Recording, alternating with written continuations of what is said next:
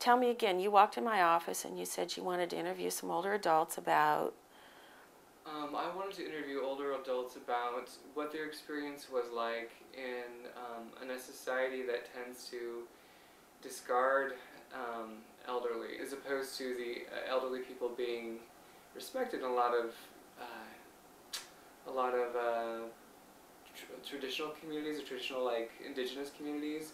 We tend to put want to put them on shelves, yes, and what we do to our elderly people is what we do to ourselves. yes. I know that elsewhere in the country, elders are not revered and elders are put on a shelf and forgotten, but that's not been my experience here in Iowa City, Iowa. Again, we're in a, we're in a mecca here. Our folks who come here demand respect. They demand to be taken seriously because they're serious about what they do. They also have a lot of fun.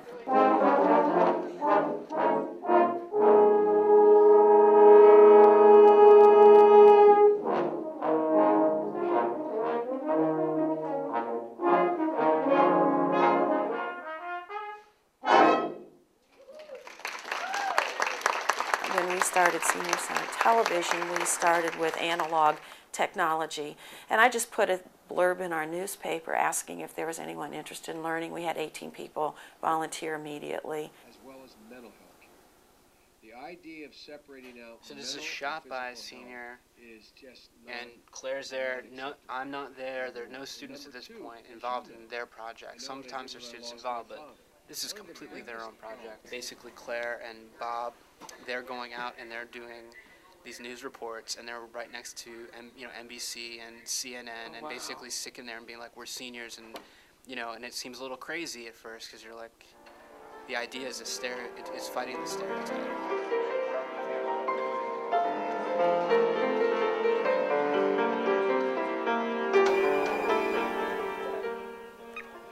Qu'est-ce que vous voulez? I, I, I can't answer you. If I'm sorry. Someone's conducting a poll. I took a walk and went back to the house, and I said, "Well, it's almost over." When you were how old? About 15. High school student, yeah. You thought it was over when you were 15? Yeah, I thought, it was, uh, yeah. it's- but anyway, we never know, do we? No, you had 70 more years coming. God. Incredible. yeah, yeah, it is. I'm wondering, do you see, or do you see any advantages of being older? if being older and you have some kind of health, I think that's wonderful. I, I, cause I, I like it here. Uh, I like being alive, and even though my memory isn't what it was, uh, and the body is not what it was, but still, I'm. I think I'm very blessed. I'm one of those persons who you could say an almost was. What are the advantages of being old? I think just seeing what happens in the world. So even though you might not, you may be very disturbed by it. You know, it's, it's still it's a, it's a scene being played out. Are there, is there like wisdom and information that you wish you could pass, pass along? I don't, I don't think I would, uh, I would tell them something. They'll find it on their own.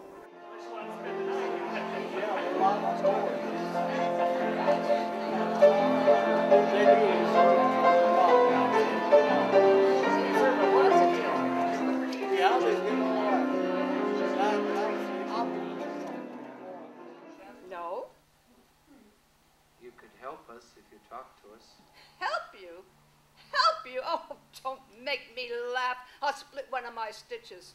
Which one of us is kicking the bucket, me or you? Evelyn, Evelyn loves the bright lights. Come on out with it. Don't be shy. Bring on the spotlights, darling. And I can't act at all, so she does the acting, and I don't want to. That's a good thing. No, I don't want any competition, Sybil. no, you don't get it from me, but you do get admiration. First, I'll ask this: What is old? Oh boy, I think old is how you feel.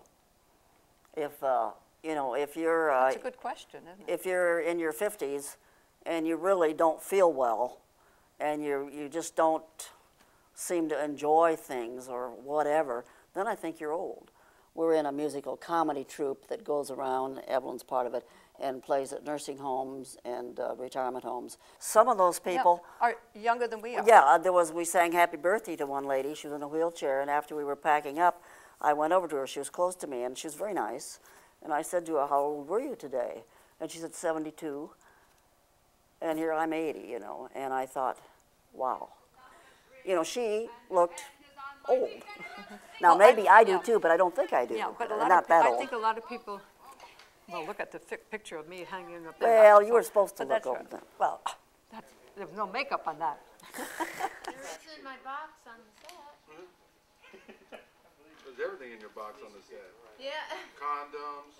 And these kids are so nice, and like 16, the youngest, mm-hmm. I'm the oldest. 72. with- I'm the oldest of 72, and what, the director's maybe in his 50s? and I the would say. interviewers in his And it- 60s.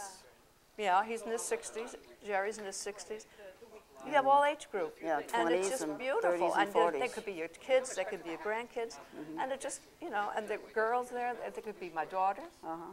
It's, it's just, it's a, it's a very healthy, I think it's very healthy to be involved with different ages, not just your own age. Yeah, I do too.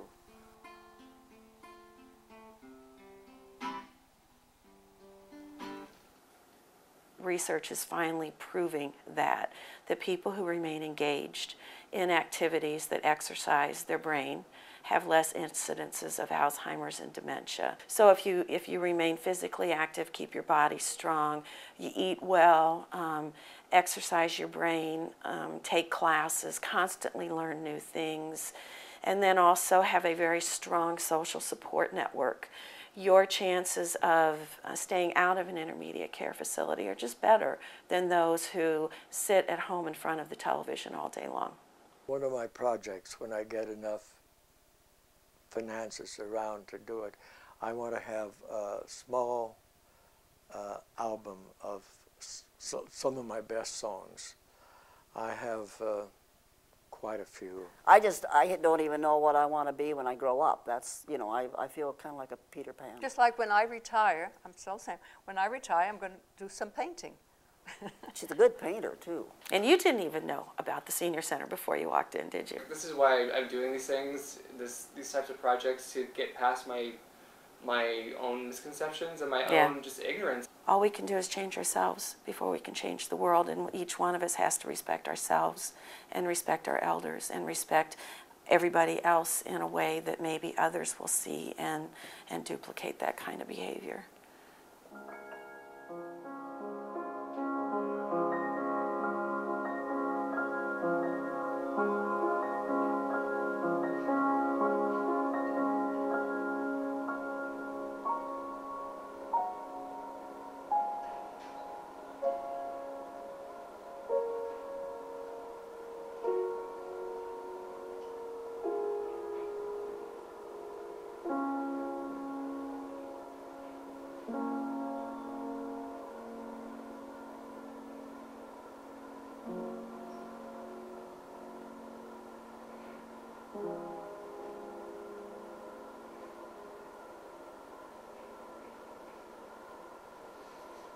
So beautiful.